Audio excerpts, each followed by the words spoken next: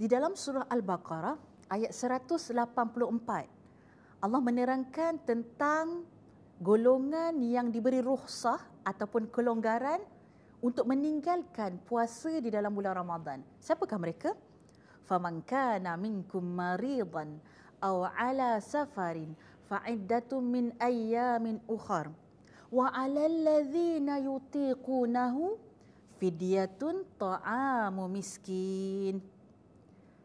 Allah telah menerangkan tiga golongan. Yang pertama, orang yang sakit. Yang kedua, orang yang bermusafir berjalan lebih daripada dua marhala dan yang ketiga orang yang tua yang dah tak mampu yang dah uzur mereka boleh meninggalkan puasa dalam bulan Ramadan. Orang yang sakit bukanlah semua sekali sakit dia boleh tinggal puasa. Nanti dia tak puasa dia tanya. Dia kata saya ni tak puasa hari ni sebab apa saya sakit? Sakit apa? Sakit hati. Tak boleh ya orang yang sakit hati tak boleh tinggal puasa. Yang kedua bermusafir berjalan. Ha, berjalan daripada rumah ke bandar sahaja.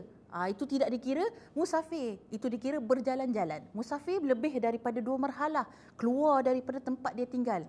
Dan dengan niat yang baik. Bukan musafir yang kerana maksiat tak boleh juga tinggal puasa. Yang ketiga, golongan yang dah tua. Yang dah uzur. Ada sakit kecing manis, darah tinggi, ada sakit jantung. Jadi kalau puasa mungkin akan menjatuhkan mudarat kepada diri dia. Allah bagi kepada mereka bertiga untuk tinggalkan puasa, boleh untuk berbuka puasa tetapi sekiranya mampu untuk qada, qada sekiranya tidak mampu contohnya golongan yang tua tadi mungkin dia tidak mampu untuk berpu- untuk berpuasa qada. Wajib ke atasnya fidyah. Berapakah kiraan fidyah?